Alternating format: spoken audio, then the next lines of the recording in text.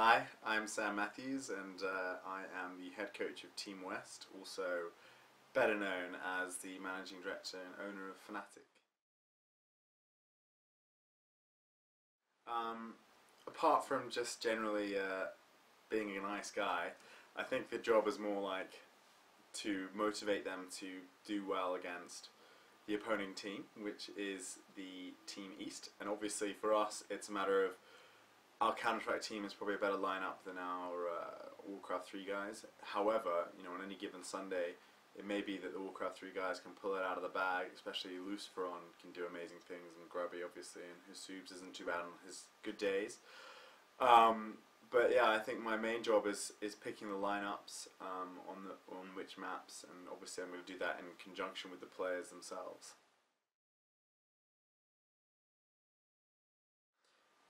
Um, well, obviously one of the biggest challenges of managing more than one team is you, the th- the biggest thing that's going to have an effect is the fact that they may be relying on the team previously to have done well or done lost, and that's going to be a moral boost going into the next round.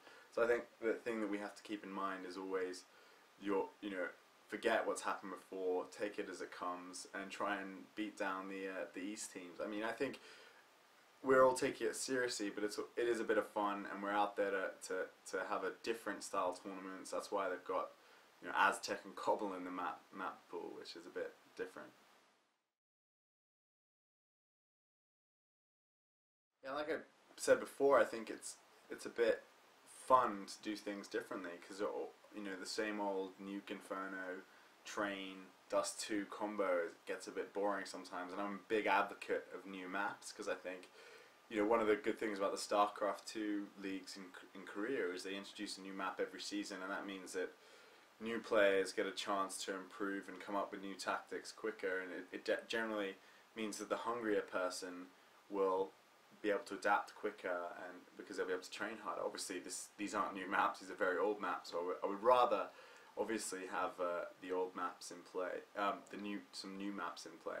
I think the structure is interesting. Um, I love the fact that it's it's uh, Team West versus Team East. I, you know, just gives a bit of a rivalry and a bit of camaraderie as well at the same time, and then Team West camp, um, and it's fun to see what happens.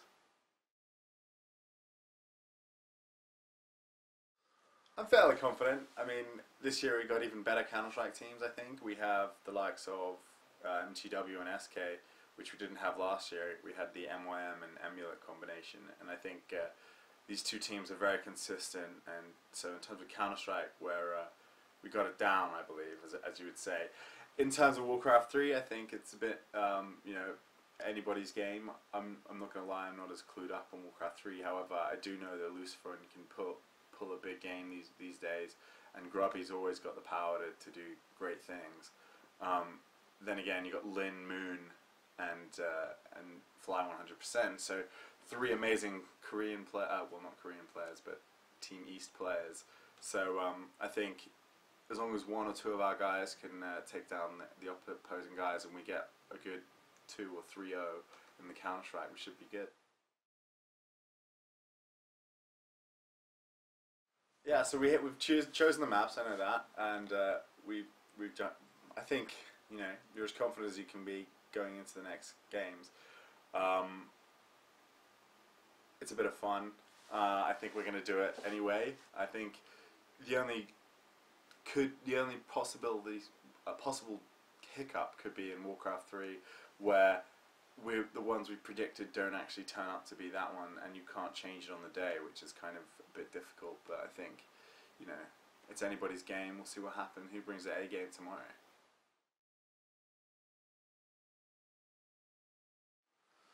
I think Team West has got a lot more experience when it comes to uh, sort of major tournaments. I mean, especially when it, when you look at the Counter Strike sides, you you have three of the most experienced teams ever um, against three fairly unprepared under you know tournament. I mean, the Asian teams have far less international experience, and I think that'll play a big role in, in the Counter Strike side of things in terms of Warcraft 3, obviously Lyn and Moon extremely extremely uh, experienced, and also you've got a much bigger competitive pool to play against in Asia. So I think, um, but then Grubby has probably been around the bush a bit. So uh, I think West has advantages of our pure arrogance, uh, obviously, and you know, all I can say to that is uh, West Side.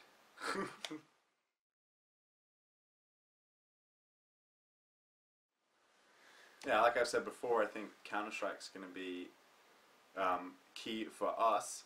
Uh, obviously, at the same time as Warcraft 3 is going to be, we're going to need to pull out one, at least one win to take this. However, you know, having the Counter Strike advantage, the, the deciding map is actually on Counter Strike. So should it be a two all, um, we actually get to finish it off in Counter Strike, and I think we can do that. So I think that means it's slightly in our favour.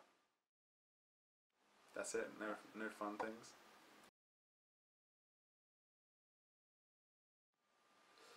So uh, wish us luck. Thanks very much for uh, having an interview with me, and obviously thank our sponsors at Fnatic for enabling us to be professional. Obviously, MSI being our title sponsor provide us with sick notebooks. You should check those out. Steel Series, and of course uh, we have Ugame.net, and soon to be one other. So stay tuned to that one. Um, wish us luck tomorrow, and uh, over and out.